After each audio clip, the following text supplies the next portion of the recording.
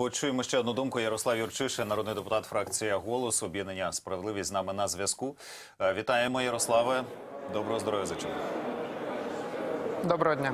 Отже, Верховна Рада змінила закони, які визначають роботи Національного антикорупційного бюро України. Що принципово, е, на вашу думку, змінилося? І після цих змін, а чи побачимо ми якусь е, зміну безпосередньо в роботі самого Національного антикорупційного бюро?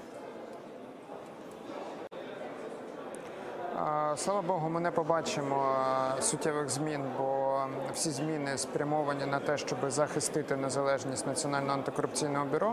Головні зміни стосуються того, що конкурс буде проводитися незалежною комісією, половину з якої формує кабінет міністрів, пол- половину з якої кабінет міністрів затверджує на е, пропозицію наших міжнародних партнерів, вдосконалена процедуру зовнішнього аудиту, щоб чітко розуміти, наскільки ефективно працює національне бюро.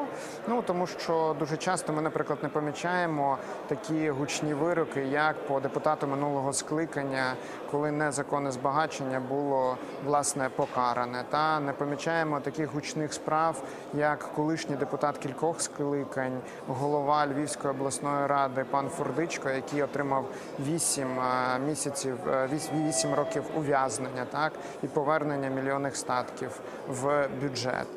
Насправді я розумію, що дуже багатьом, які самі мають проблеми з корупцією, на- невигідно розповідати про ефективність національного антикорупційного бюро чи висувати претензії, де вироки.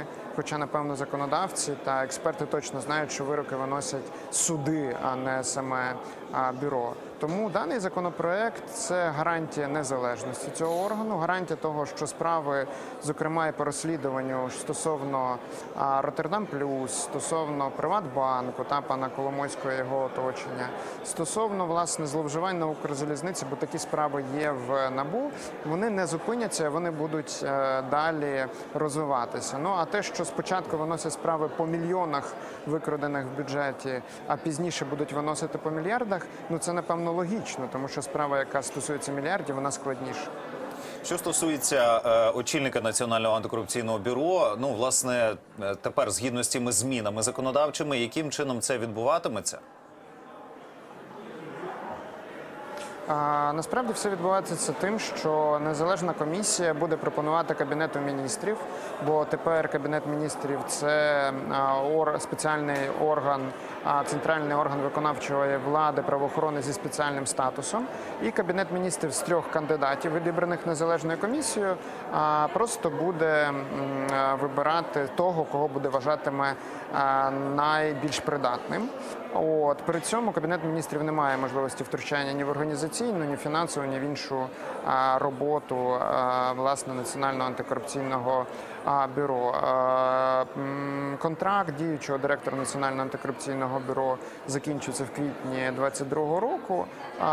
На жаль, претендувати на посаду наступного разу він не може. Ви знаєте, в нього є певні речі, які не дозволяють претендувати, зокрема адміністративне рішення стосовно корупційної діяльності. Почули. Дякую, Ярославе, за коментарі. Ярослав Юрчишин, народний депутат, фракція голосу, об'єднання Справедливість, був з нами на зв'язку. Ну